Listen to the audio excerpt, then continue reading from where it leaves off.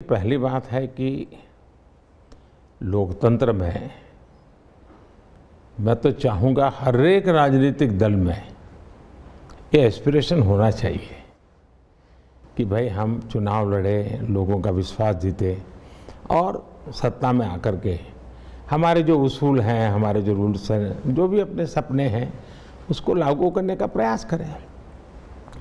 तो किसी भी राजनीतिक दल में अगर ये महत्वाकांक्षा ही नहीं है तो तो फिर लोकतंत्र के लिए ही ठीक नहीं है।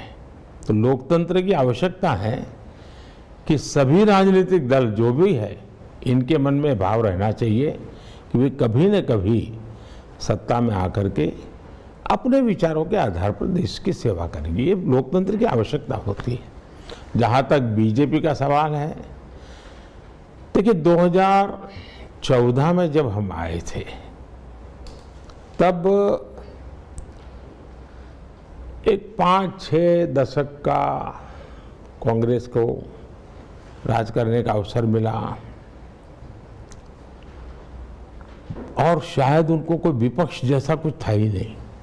इतना मीडिया भी नहीं था और न ही इतनी मीडिया में वाइब्रेंसी थी। यानी एक प्रकार से उनके लिए ऐसा खुला मैदान था और देश भी उनके साथ था, क्योंकि आज़ादी के आंदोलन के बाद जो भाव थे, वो जो चाहते वो देश कर लेता। लेकिन वो मौका गंवा दिया और धीरे धीरे धीरे डिटोरेशन पर आया।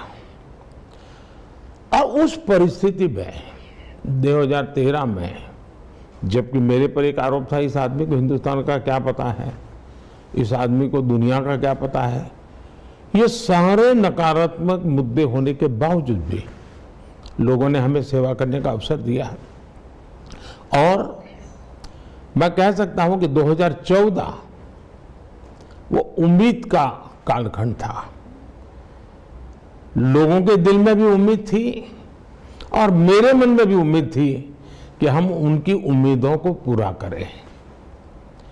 और पाँच साल में सरकार चलाना मतलब मैं शासन नहीं करता हूँ, मैं सेवा करता हूँ।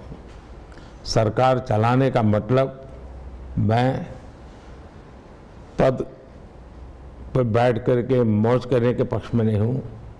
मैं एक सामान्य नागरिक से भी ज़्यादा मेहनत करने का प्रयास करता हूँ लोगों के लिए। लोगों ने बड़े निकट से हमारी सरकार के कामों को देखा। 2014 में उम्मीद का वातावरण था। 2019 में एक प्रकार से विश्वास में पलट गया। जन सामान्य का इतना विश्वास, उसने मेरे भीतर एक नया आत्मविश्वास भर दिया। मुझे लगा कि हम सही दिशा में हैं। हम सबके लिए जो काम करने का सबका